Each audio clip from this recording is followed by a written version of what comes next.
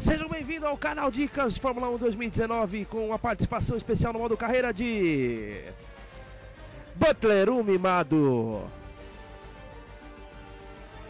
Weber, o bofe.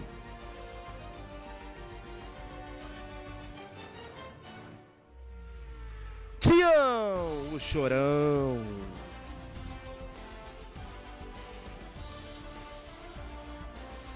A Betina milionária.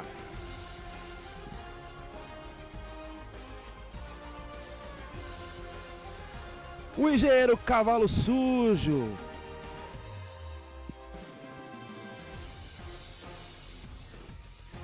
A repórter Morena Becker.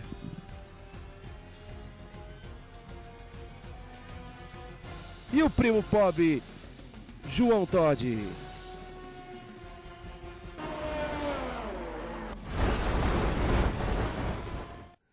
E estrelando Zaquinha Katayama. Com esse nome emblemático. Bom, primeiro para iniciar esse modo carreira aqui, eu escolhi a equipe da Curly. Vou mostrar as configurações que usei para a partida aqui do primeiro GP. E depois adiante a gente vai ver o primeiro episódio aí do modo carreira. Aqui temos equipes da arte aí, outra equipe muito forte aqui do modo carreira da F1, onde você inicia na F2 ali, com algumas etapas ali no meio, que os cenários, um parcial do modo carreira na categoria inferior, aí, a categoria de acesso da Fórmula 1. Eu vou escolher a equipe da Curly e também um plano de carreira. Aqui eu pensei em escolher aí da Mercedes, mas fui pela. Falou mais alto aí a Ferrari, a vermelhinha falou mais alto e acabei escolhendo da McLaren. Quero deixar para vocês esses ajustes do menu aí para saber como é que eu configurei o nível de dificuldade. Vamos aí a sessão, coloquei sessão de 25%, tá? Em média aí de 15 voltas por cada corrida, uma sessão única de qualificação e vou fazer o desenvolvimento de carro, aprimoramento. Espero que ajudar alguns iniciantes aí no modo carreira do Fórmula 1, para quem começou agora, com algumas dicas do modo carreira logo desse início. A IA, a inteligência artificial, eu coloquei 85. Você que já anda bem pode colocar 90, que você que anda muito bem pode pôr 95 e você que lidera a liga já pode correr no 100, que anda muito bem. Tirei os flashback para não ter mutreta.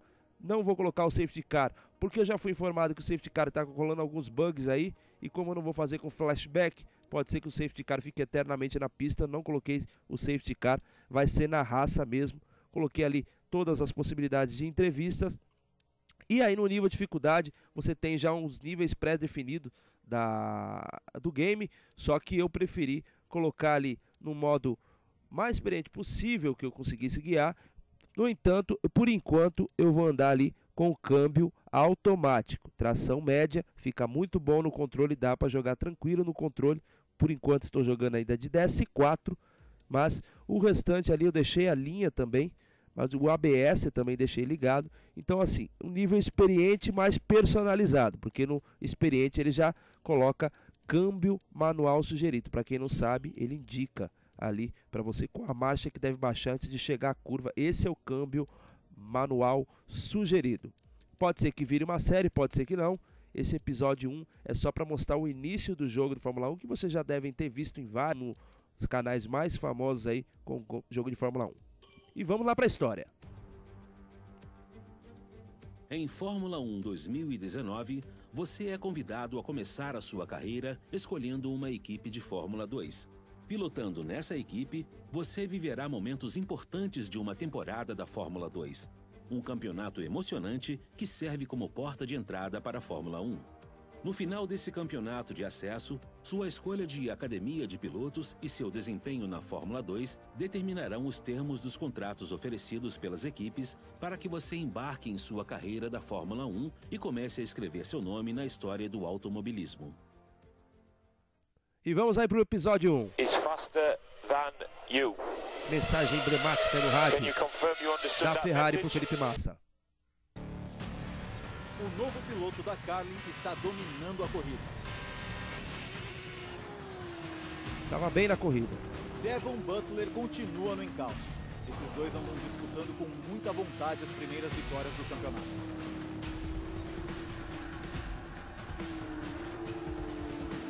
E aconteceu alguma coisa. Butler aproveita a chance. Foi alguma falha mecânica? Recuperando a velocidade. Sabemos qual foi o problema. Será que dá para terminar a corrida? Vocês viram ali o cavalo refugou um pouquinho do carro. Seu parceiro está chegando perto e quer passar. Repito, Lucas quer Meu te companheiro passar. de equipe na pressão.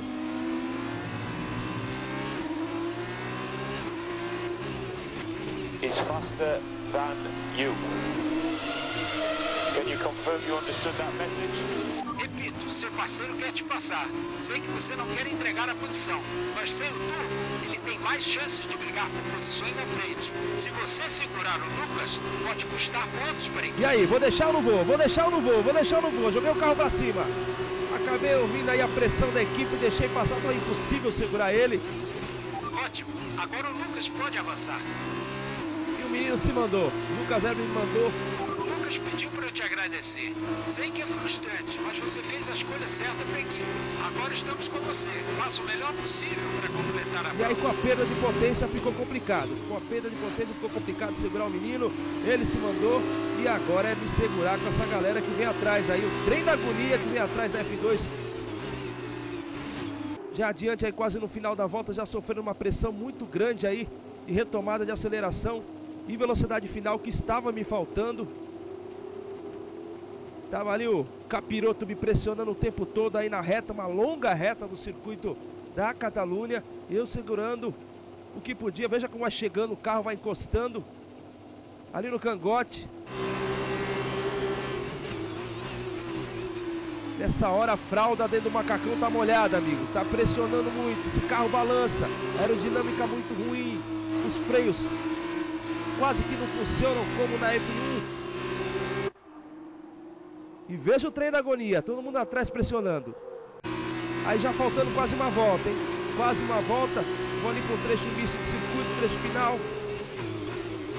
Faço o contorno. Reduz para a segunda marcha.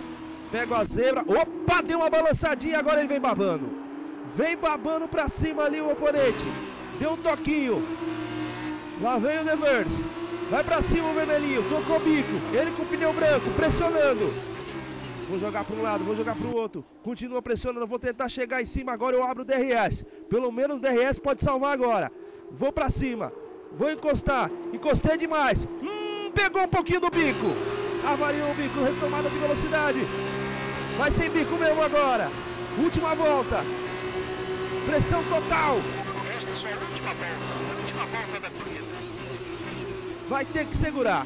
Se não for na ponta dos dedos, vai ser no bico do nariz. Segura lá. Última volta é para segurar essa turminha aí. Se esguela ali o motor da F2. Agora é um olho no peixe e outro no gato, amigo. E aí o vencedor da corrida, o Butler, o mimado. Muito parecido com meu amigo Buckshot, do grupo de Fórmula 1 que eu participo, a Liga IRV. Nos últimos metros deu uma balançadinha. Vai cruzar, vai que vai, vai que na fé. Agora dá, menino. Agora dá, menino. Agora dá, menino. E daí a sexta posição garantida no começo. Ótimo, terminou bem. Você aumentou o ritmo e conseguiu o que pedimos. Bom trabalho. A equipe puxando meu saco porque eu dei passagem para outro piloto. Enquanto os pilotos saem dos carros, a arte está pronta para comemorar sua merecida vitória hoje. Parabéns. É, amigo, suei um pouquinho nesse início aí. David, o que você acha que fez a diferença hoje? Acho que o que garantiu a vitória de hoje foi a capacidade de adaptação. Em todos os momentos, ele fez o que era preciso. Manteve a calma e a consistência quando precisou, mas foi implacável e agressivo quando foi exigido. Não teve nada que apareceu na frente dele que ele não tenha conseguido administrar. Esse tipo de adaptabilidade é muito útil se ele conseguir levar isso para o resto da temporada. É, aquele carinha que apareceu agora há pouco ali foi o que ficou no meu cangote o tempo todo pressionando. Uma corrida incrível hoje e uma vitória merecida. A equipe trabalhou muito para acertar o carro do jeito exato que eles queriam o resultado está aí. Vitória para a Arte GP. O pódio das meninas.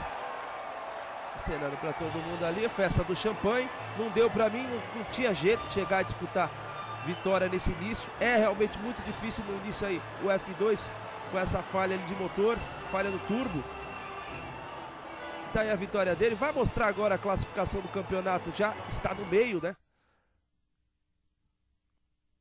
Então é hora de ver como esse resultado afeta o campeonato de pilotos. Foi um bom resultado para Devon Butler, que se distancia ainda mais no topo da tabela. E agora, David Valsec, deixa eu perguntar. Quem foi o piloto do dia? Meu piloto do dia de hoje é o Alessio Lorandi. Ele fez um ótimo trabalho nas ultrapassagens e mostrou por que é tão valorizado no paddock. Vamos falar das equipes então. A Art chegou ao topo da tabela. Por enquanto, dizemos tchau. Mas estamos só começando. Não perca a largada de amanhã. É, o Lorante foi 14, os caras estão felizes com ele ali, 14, e eu tô na beirada ali. Aí, olha só. Eu sei que não foi fácil me deixar passar, mas você fez a escolha certa. Foi um bom comportamento. Puxa, é, sabe. bem assim que eu descreveria, parceiro. Só bom, não ótimo. Um em seis. Um em seis chegam na Fórmula 1. Os outros cinco ficam vendo os colegas de equipe com menos talento fazerem pontos. Uma vergonha. Vários pilotos ótimos que nunca têm uma chance porque eles jogam pela equipe. As equipes que trouxeram a gente até aqui. Tá, mas são os pilotos que se arriscam que merecem as recompensas. Você quer correr na Fórmula 1? É assim que os vencedores pensam. Hum, eu não tô lembrando. Quantas corridas de Fórmula 1 você já ganhou? Pois pode ficar ligado. No fim do campeonato, vou ser eu levantando o troféu e não vai ser usando meu colega de equipe para chegar no pódio. Ok, já deu. Pode pensar o que você quiser, Devon, mas ainda estamos no começo. Ou ele é muito esperto ou você é um idiota. Opa! Você acha mesmo que se fosse ao contrário ele faria o mesmo por você? lá. Não.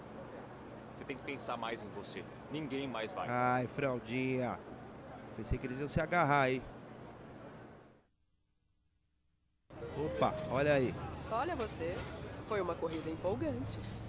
Estão falando de você, o que significa que eu consegui garantir uma entrevista. Um milhão de patrimônio. Ok, tá tudo pronto aqui. Só um minuto. Betina, Betina. Lembra, tudo que você falar com a imprensa pode ser muito divulgado. Então, fique relaxado, mas sempre atento com o que está dizendo e como podem interpretar, ok? Vamos lá, vamos para a entrevista. Estamos prontos. Ótimo. Ali o primo pobre do o João Todd. Então, a Emma vive me falando pra ficar de olho em você. Se isso for verdade, teremos muitas. Lembre-se, seja natural. Quanto mais se abrir comigo, melhor vai ser. Certo, fica aí. Vira um pouquinho pra cá. Perfeito. Pronto? Bora lá. Hoje foi uma corrida empolgante. Me diz como foi pra você. Ó. Este é o seu terceiro fim de semana com o Lucas. Como estão as coisas? Um tempo para escolher ali as opções. Se eu escolher a opção errada, não vai ter nada acrescentado no carisma. Coloquei ali que eu sou profissional, que eu não preciso. Como você se sentiu ao receber a ordem de ceder a posição para o líder do campeonato? Que eu não preciso me adaptar. Vamos ver agora, entre a primeira e a segunda. É, vou colocar ali. Era óbvio, era óbvio, era óbvio. Ótimo. Ah, hoje ficamos por aqui. E tá aí, galera, encerramos essa sessão aí de primeiro episódio. Um piloto que a gente está fazendo aí do modo carreira. Interessante, muito interessante o modo do jogo. Parece manter até quem gosta de jogar offline bastante entretido. Depois tem renovação de temporada, troca de pilotos. Já tem temporada aí que eu acompanhei que a Grosjean foi para Mercedes, amigo. Grosjean foi para Mercedes. Coisa tá feia, tá fácil para ninguém não. Um abraço. Esse aí o vídeo vai ficar aí só como registro aqui no canal e quem sabe a gente faça outros vídeos no futuro aí. O foco aqui do canal ainda é os vídeos tutoriais e também o Tomada de Tempo Brasil do Fórmula 1 2019. Grande abraço, até a próxima.